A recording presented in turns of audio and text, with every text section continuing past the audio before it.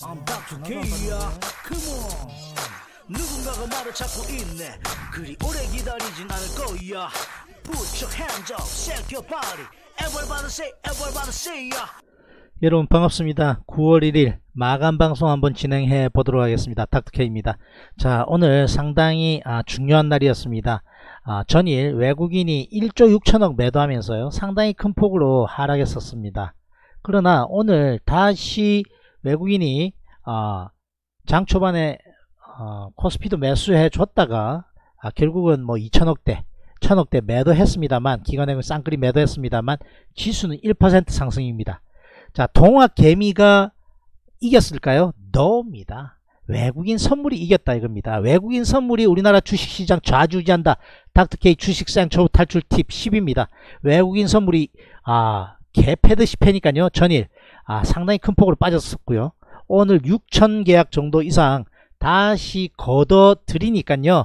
1%대 반등하는 겁니다. 자 여러분들 반드시 그거 하나 기억하셔야 돼요. 외국인이 아, 선물로 우리나라 주식시장 좌지우지한다. 자, 코스닥도 0.60% 상승으로 코스닥은 더 양호한 모습입니다. 20일, 5일 위에 있는 완전 정배열 상황이고요. 내일 추가 상승 한번 기대해 볼 수 있는 상황입니다. 다만 코스피는요. 전일에 낙폭 한 절반 가까이 만회하는 상황입니다만 아직까지 저항이 아, 20일, 20일 저항을 뛰어넘지 못했기 때문에 아, 오늘 미국 상황이 양호하게 만약에 마무리한다면 추가로 반등할 가능성 더 높은데요. 조금 주춤한다면 아, 밑으로 처질 가능성도 상당히 있는 중요 변곡 구간이다 아직까지. 자 지금 현재 미국 선물 체크해보자면 아, 다우 선물 0.20% 상승 중이고요. 나스닥 선물 0.72% 상승 중입니다.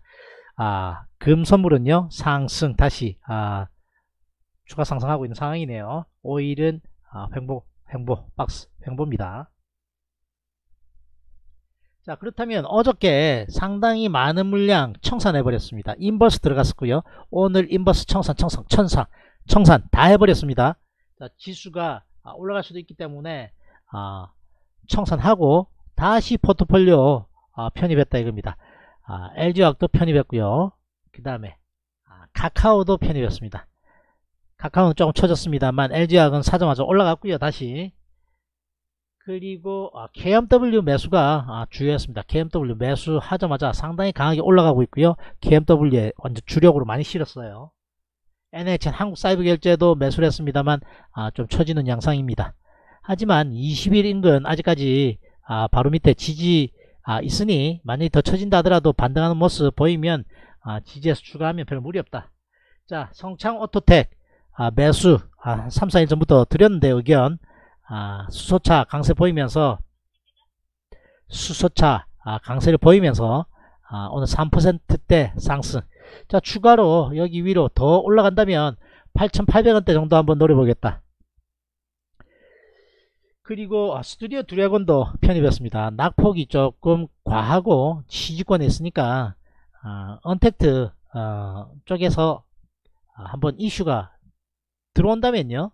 아, 집에서 동영상 시청하고 하면 스튜디오 드래곤도 한번 반등 나올 수 있는 아, 충분한 모멘텀이 있으니까요.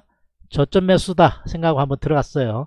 자 셀트리온 아, 30만원 이탈하면 좋지 않다 말씀드렸고 30만원 이탈하고 난 이후에 자 30만원 돌파가 잘 안되죠 30만원 인근까지 갔다가 다시 밀리는 모습입니다 왜?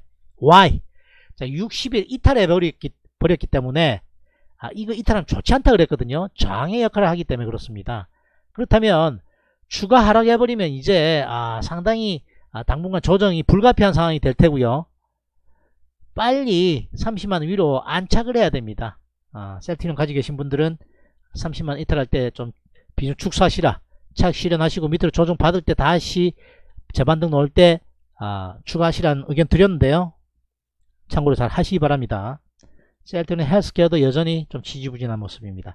전일 상당히 강세 보였던 알테오젠과 아, 이런 종목들 조금 주춤하는 모습입니다. 그래서 아, 코스닥에는요 좀 난입니다. 진단키트 쪽도 시젠도 그죠? 좀 주춤하고 신풍제약은 아, 전고점까지 다시 가버렸습니다. 접근하지 마시기를 권유드립니다. 못 해냅니다. 잘하기 힘들어요. 잘못하면 앞전 상황처럼 반드시 된다는 건 아닙니다만 아, 큰 폭으로 손실을 볼 수 있으니까요. 아, 선수가 아니다면 패스하시길 권유드립니다. 자 오늘 5G가 아, 상당히 강세 보였고 그리고 휴대폰 부품들도 반등 강하게 하는 모습입니다.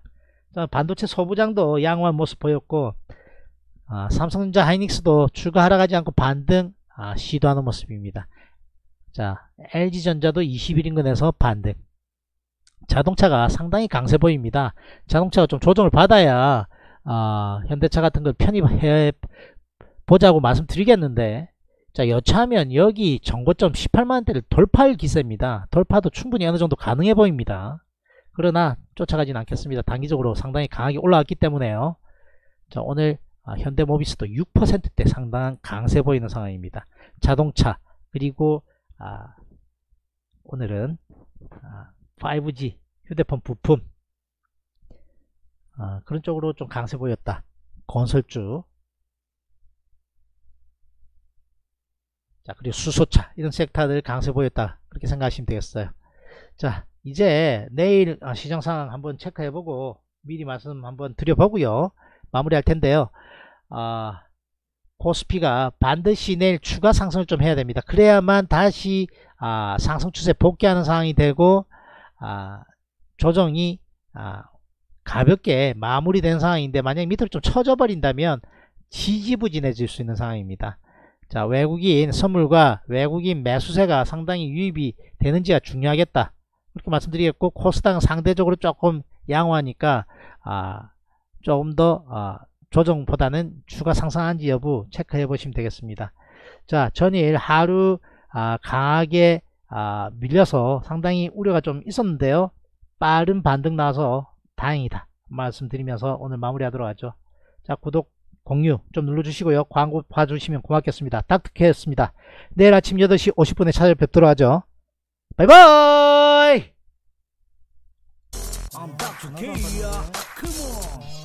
누군가가 나를 찾고 있네 그리 오래 기다리진 않을 거야 Put your hands up, shake your body Everybody say, everybody say yeah